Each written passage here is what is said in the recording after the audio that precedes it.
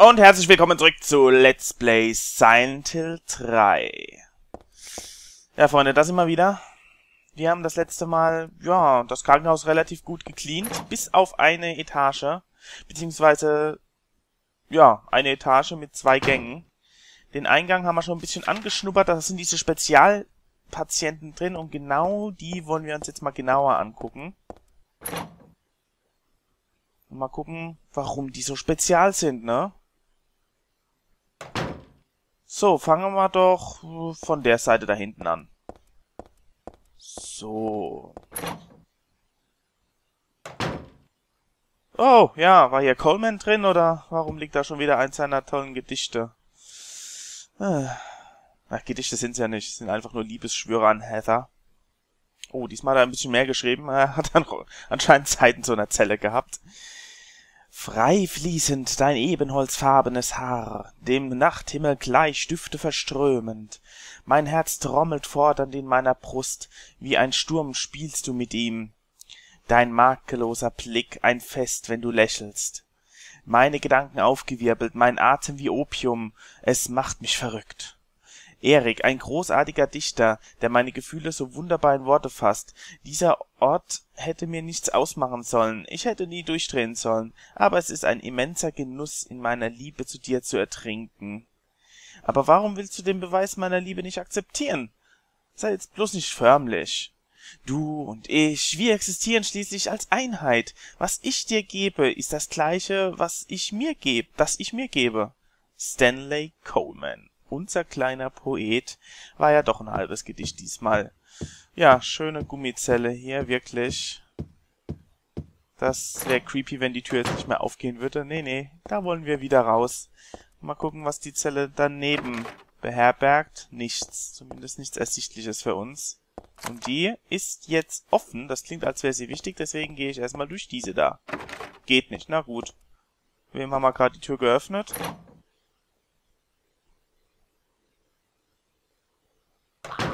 Wow, warum bist du denn hier drin, Schwester? Warst du eine böse Schwester? Hm? Au. Ja. Ich merke schon, du bist wirklich böse. Da. Und Ruhe hier. So. Du wirst hier nie wieder rauskommen, so viel ist sicher. Scheint ist hier ansonsten nix. Deswegen gehen wir. Toll, das war irgendwie sinnlos mit der Schwester jetzt. Aber egal. Wir haben noch ein paar andere Zimmer schon vor uns. Etwas normalere Zimmer, wie wir hier sehen. Ich hoffe, die gehen überhaupt. Abgeschlossen. Ach, und da ist schon wieder ein Zahlenfeld. Wie schön. Oh, Zahlenfeld. Ja, wir haben doch das letzte Mal was bekommen. Natürlich weiß ich das jetzt nicht mehr, weil ich eine Pause gemacht habe. Moment mal, ist da vielleicht noch was? Nee. Ach, herrje. Ich hoffe, sie hat sich's gemerkt. Mein äh, Controller vibriert wieder, aber Ach ja, ähm, ich, mir wurde gesagt, was das Parfüm bringt. Ist mir gar nicht aufgefallen. Wir können das nicht nur verwenden, sondern auch ausrüsten. Soll heißen, wir können das äh, Parfüm an uns schmieren. Was bringt das? Mehr Gegner, beziehungsweise aggressivere Gegner. Nein, danke. Brauche ich nicht. nee, nee, nee, will ich nicht haben. Ähm, ja, was wollte ich denn jetzt hier machen? Ach ja, ich wollte mal bei den Notizen gucken. Ich hoffe, dass da mein Code drin ist. Ach Gott, ja, das, das, das nimmt ja alles mit hier. Stanleys Tagebuch. Tagebuch, Tagebuch. Oh Gott, die ganzen Tagebücher. Die Fotorückseite des Regals, das müsste es doch sein. Die 1859. Vielleicht ist es auch eine 7. Aber ich glaube eine 1. 1859. So.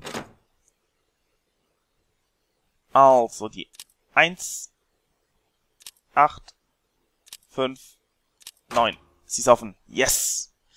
Das war im Vergleich zu dem anderen Zahlencode ein Pipi-Spiel.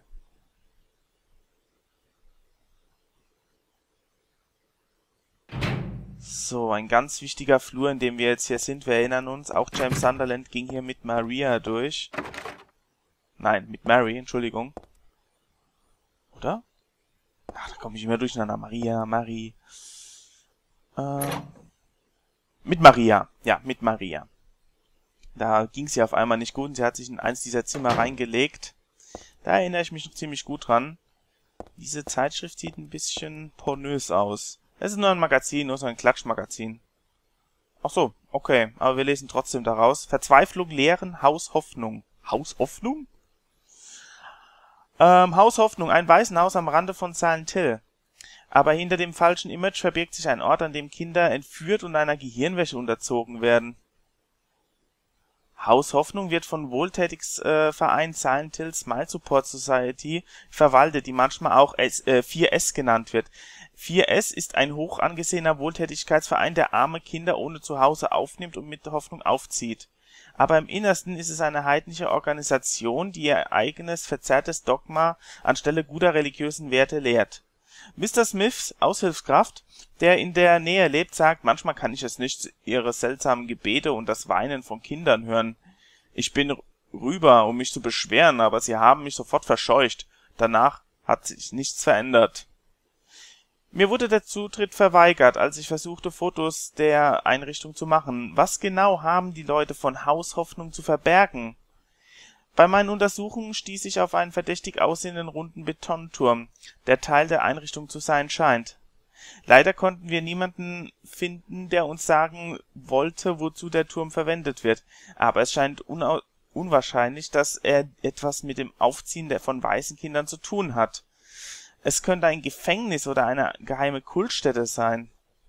Der Kult der Haushoffnung betreibt wird von den Ansässigen einfach der Orden genannt. Es ist eine Religion, die aufs engste mit der Geschichte von Silent Hill verwoben ist. Aber es ist der inbrünstige Glaube der Anhänger, der sie zu den wenigen Auserwählten gehören, der eine dunkle und gefährliche Seite offenbart. Ich beabsichtige, meine Untersuchung von Haus Hoffnung und dem dahinterstehenden Kult fortzusetzen. Ich habe den festen Glauben, dass es unsere wichtigste Pflicht ist, die ganze Wahrheit zu sagen und unseren Kindern den wahren Weg zu weisen. Joseph Schreiber Haus Hoffnung. Irgendwie kommt mir der Name bekannt vor. Mir auch, muss ich ganz ehrlich sagen. Wurde das nicht auch mal in Silent Hill 4 aufgegriffen? Oder hieß das... Nein, ich meine, das war irgendwas mit House of Wishes oder so. Papiertaschentücher und ein Wecker. Hm. Die Uhr ist kaputt, aber ansonsten unwichtig. Aber das kann auch sein, dass ich das jetzt verwechsle. Irgendwie klingelt's da ein bisschen mit Silent Hill 4. Könnte wieder so wie bei Silent Hill 2, da gab's ja auch schon mal so eine Anlehnung zum Vierer mit Walter Sullivan. Aber gut, das könnte jetzt auch sein, dass ich das einfach nur da irgendwie was durcheinander bringe, namenstechnisch. Äh, aber der Orden, das haben wir definitiv schon mal gehört. Naja, lassen wir erstmal so im Raum stehen. Heather kann damit jetzt nichts anfangen. S4, da geht nichts, okay. Was ist denn das? Ein getrocknetes Rindfleisch. Ach, liegt da einfach rum, wie nett. Schön, dass in dem Flur überhaupt keine Krankenschwestern sind. Aber ansonsten ist hier auch ganz schön langweilig. Jede Tür geht nicht. Doch, S7 geht. Schön. Hab schon gedacht. Och, nö. Oh, oh, oh. Ich glaube, Coleman ist sauer, oder? Was mit dir? Äh, ich glaube, er hat genug davon, dass ich ihn einfach so ignoriere. Dass ich seine Liebe nicht erwidere. Okay. Das sieht irgendwie doch sehr unfreundlich aus mit der Puppe. Auf Wiedersehen, Heather. Es tut mir leid, dass ich deine Liebe nicht erwidern konnte. Es ist alles aus. Leonard verachtet mich, weil ich mich darüber lustig gemacht habe und sagte, dass es dazu kommen würde. Hätte er sich nicht eingemischt, dann könnte ich dich bald treffen. Dann hätte ich dich mitnehmen können in meine Welt. Eine Welt nur für uns, viel schöner als diese. Und ich hätte so sehr auf diesen, Ta ich hatte so sehr auf diesen Tag gewartet, auf heute. Den Tag, an dem ich dich sehen würde, den Tag, an dem du mich retten würdest, heute. Heather, nimm dich vor ihm in Acht. Leonard ist kein gewöhnlicher Mann. Leb wohl. Ich habe dich geliebt. Heather, meine Göttin, Hedda, meine Liebe, Hedda, meine. Äh, na gut, scheint der letzte Brief zu sein, was mich nicht wirklich wundert, weil wir sind ja so gut wie durch mit dem Krankenhaus. Oh, Stanley, oh, Stanley. Ja, aber dieser Leonard, das ist ja eigentlich der eigentliche Grund, weshalb wir hier sind. Oh Gott, was ist das jetzt? Alter. Alter, wo kommt die auf einmal her? Boah.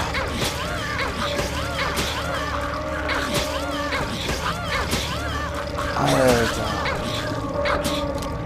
Das war fies und irgendjemand schießt hier auf mir und ich bin verdammt vibriert hier. Also, äh, es vibriert hier sehr extrem.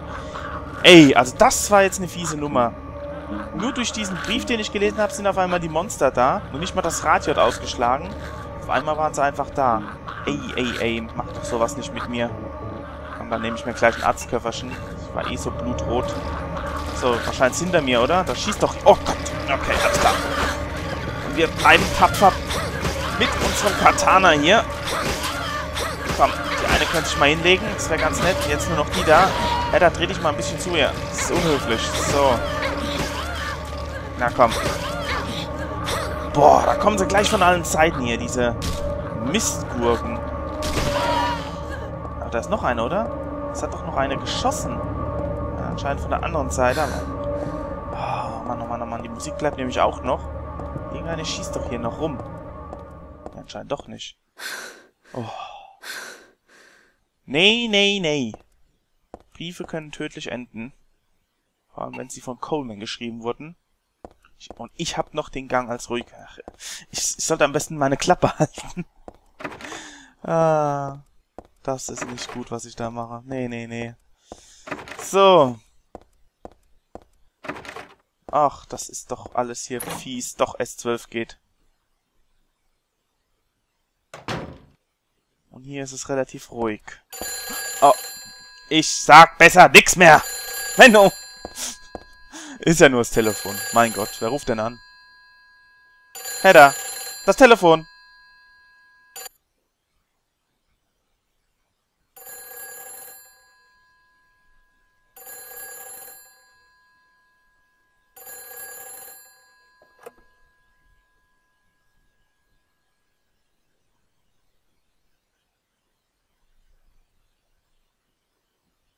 Hello?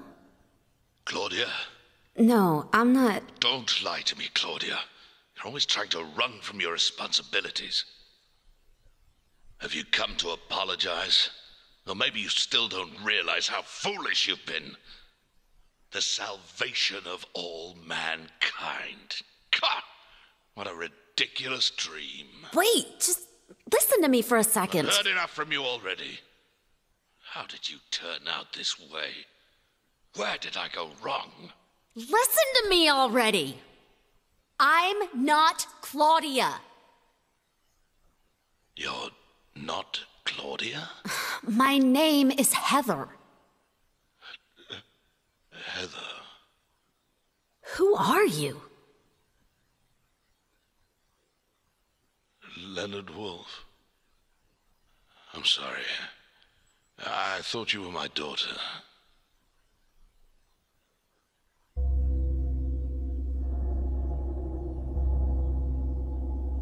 Claudia is your daughter?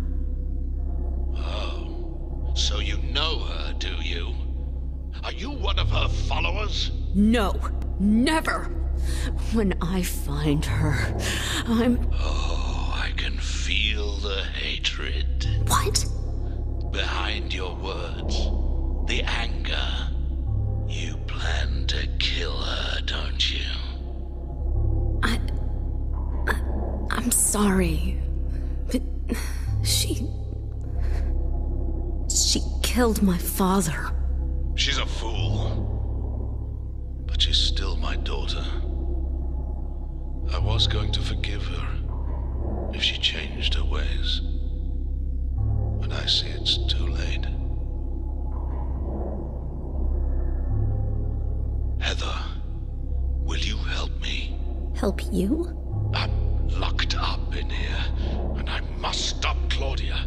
Where are you now? I'm not sure myself, but the door is at the end of the hall on the second floor. I think I can be of help to you. I have a seal. Please. A seal?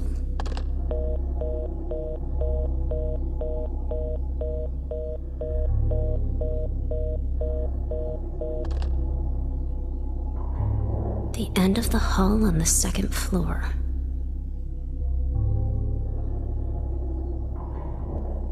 Ein äußerst wichtiges Telefonat. Wir haben einfach mal mit Claudias Vater gequatscht. Und wir wissen jetzt, wo er in etwa ja, sich aufhält.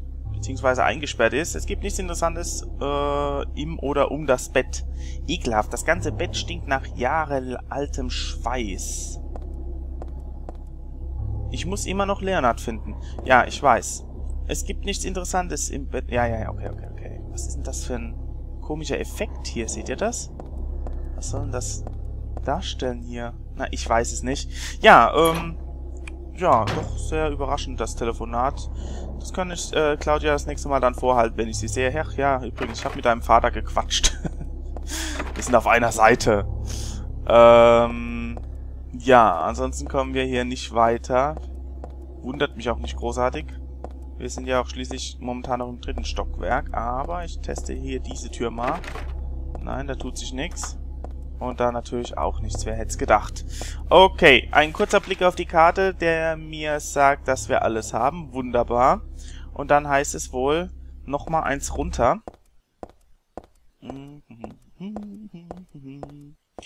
Ich werde aber nochmal speichern gehen, denn ich glaube, was jetzt kommt, könnte heftig werden.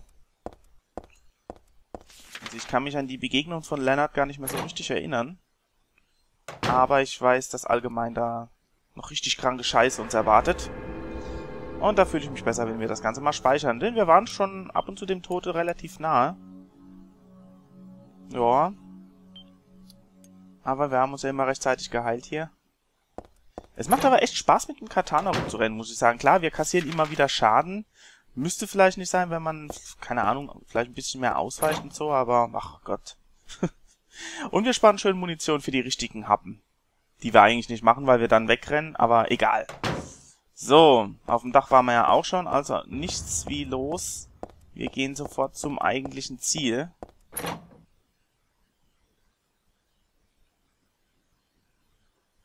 Und am Ende des Flures fällt jetzt nur natürlich dieser eine prägnante Flur hier ein, da hinten bei M6. Da ist aber nichts eingezeichnet.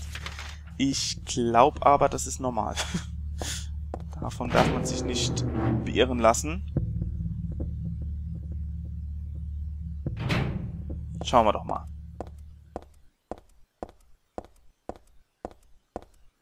Alles ruhig.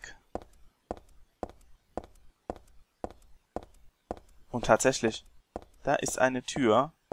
M. Einfach nur M. Die war vorher noch nicht da. Das verwette ich mit euch. Die ist neu. Genauso wie das Gebiet jetzt. Und von dem haben wir natürlich keine Karte. Egal. Noch ist es überschaubar. Dankeschön. Was für ein Service. Ähm... Das ist nicht so freundlich. Okay, ist ein labyrinthartiger Gang. Ich sagte, ich soll da rein, aber was... Okay, ich soll da rein. Ja, wo führt der mich hin? Wo wird es enden?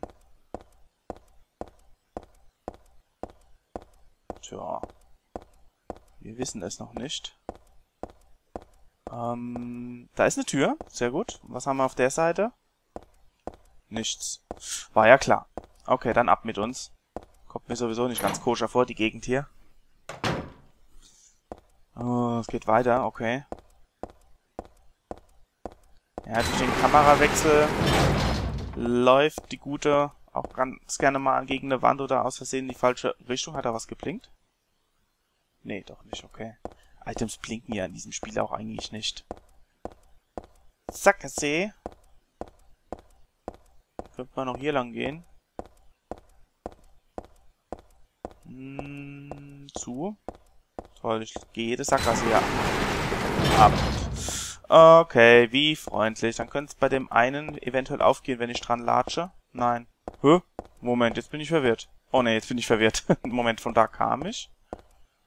Was war hier jetzt nochmal? Bin ich hier richtig oder laufe ich zurück? Ich bin falsch. Toll. Was ist das für ein blöder Gang hier? Ich kann mich gar nicht erinnern, dass ich hier schon mal Probleme hatte. Ach Mensch, und durch die Kamera verwirre ich mich noch mehr selbst. Das ist ja schlimm. So, nochmal hier gucken. Ah, hier geht's auf. Sag das doch gleich. sind wir wieder richtig, denke ich mal. Es gibt ja nur den einen Weg.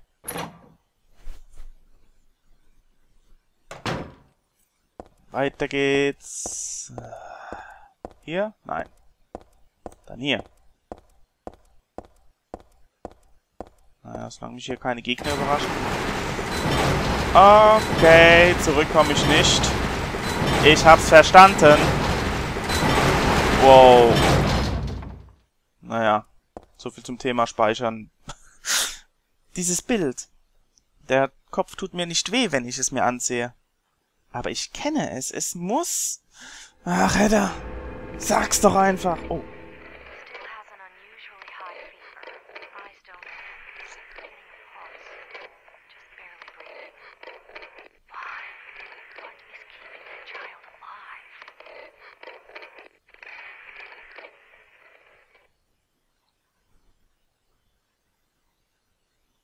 Was zum Teufel? Habe ich mit offenen Augen geträumt? Nein, es war eher wie ein Video in einem dunklen Raum. Aber diese Krankenschwester, ich kenne sie. Lisa, die mich so himmlisch behandelt hat in diesem höllischen Krankenzimmer.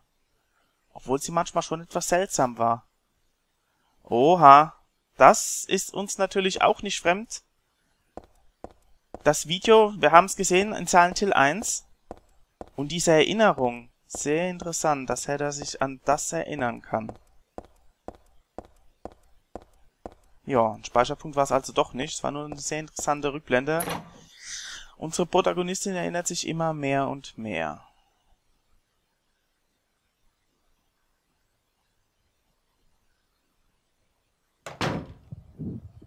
Und jetzt haben wir immer noch keine Karte von diesen Gebieten. Das sieht nicht gerade einladend aus.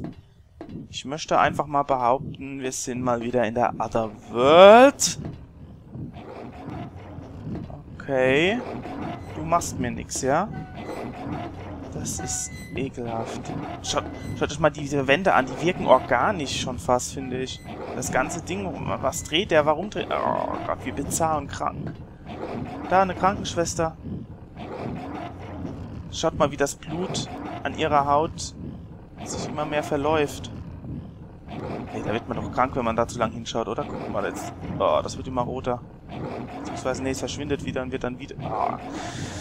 Das sind Dinge, die man sich eigentlich nicht so genau angucken will. Meine Fresse.